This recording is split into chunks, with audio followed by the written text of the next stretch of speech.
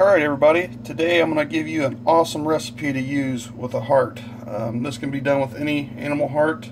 This heart that's in front of you now is a deer heart, so let me go ahead and get this prepared and I'll be right back with you.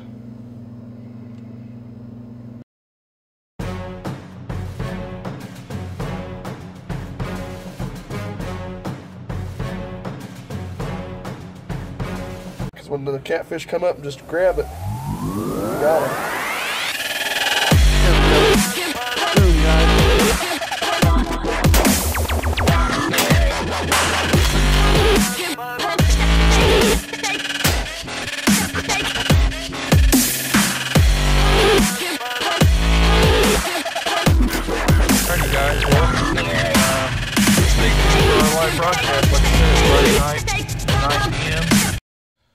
Okay guys, so for this recipe, excuse me, I'm just going to use half of the heart of the deer heart. So what you want to do is cut rest of your ingredients in half. So I'm using a half of a sweet onion and half of a garlic clove.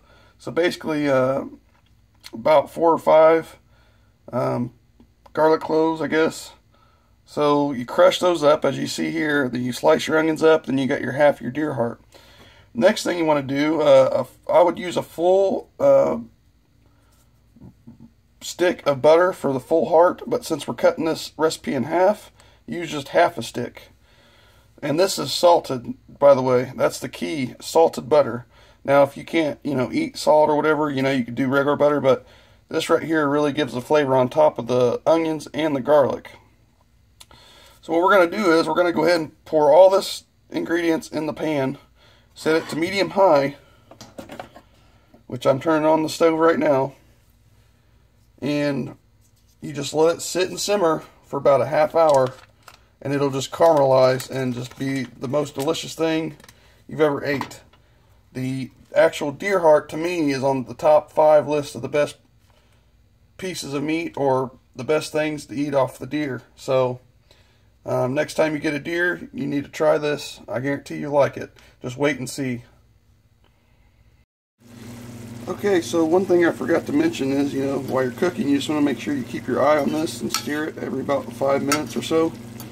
Um, it keeps the everything from getting burnt and getting all those extra flavors moved around in there.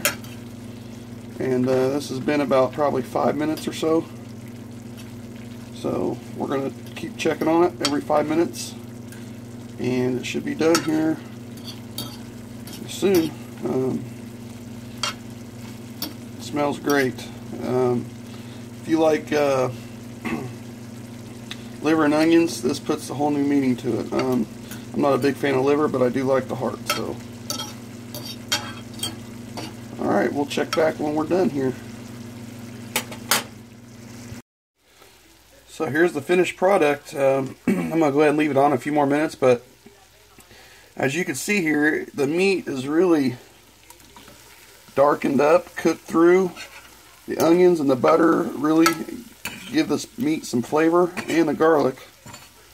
Um, you can season it however you wish, but with the butter already salted, it gives it a really good super sweet and creamy flavor. Kind of like a gravy it made, but um, other than that, guys, I mean, it turned out great. And, you know, this, this can go well with anything. Mashed potatoes. Uh, you can actually make like a deer heart Manhattan. I mean, it just, the list goes on and on. And it's really good stuff. I mean, it just, really tender. Butter makes it melt in your mouth. So if you guys like what you see here, uh, you know, make sure to give a thumbs up. And if you aren't subscribed already, make sure you do that. And uh, I appreciate you watching our videos as always. We'll see you on the next one.